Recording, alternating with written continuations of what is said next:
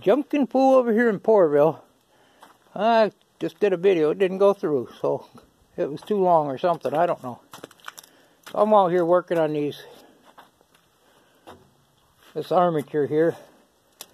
And these things are kind of fun to get out, but I got it out. They they go in here like this, and then they they fit in there like that, and then they actually turn to get them out that lip.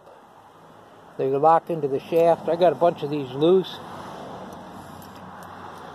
I got some more. This is the armature here. I got some transfers, transformers getting ready. So I'll be stripping them down. I just wanted to do a quick video. Hope everybody had a Merry Christmas.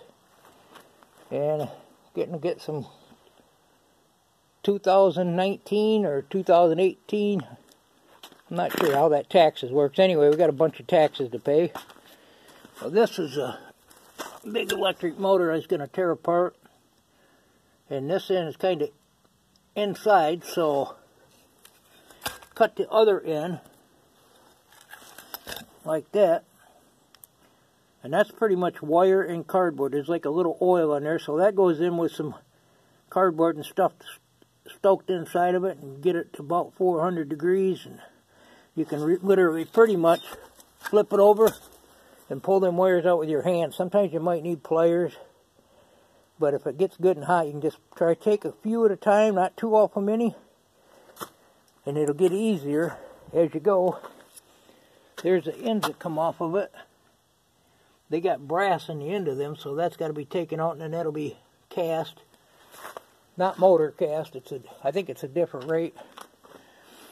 Then these been cut around the edge here, and the same with these. You get these good and hot and they'll they'll uh, you can pull them from this end a couple at a time stick with one area it might have to pretty much straighten the ones down here as you go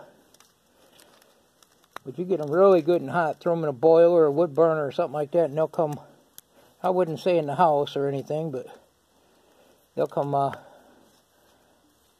come out fairly easy and you want to use this skinny wheel. I pretty much wore this one out, but it was half shot when I started, so.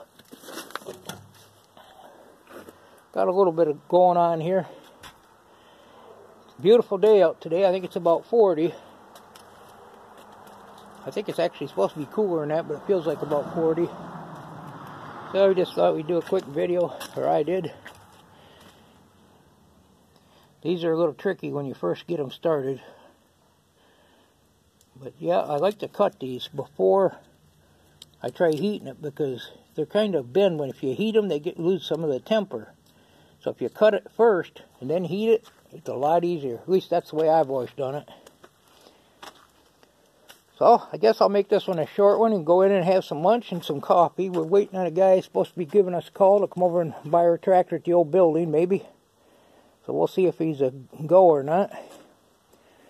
He wanted to go over there sometime today in the afternoon, so maybe I'll do a video over there too. This is Junkin Fool in Porterville. Playing around with electric motors today. Hope everybody has a great day and go find some junk. Goodbye.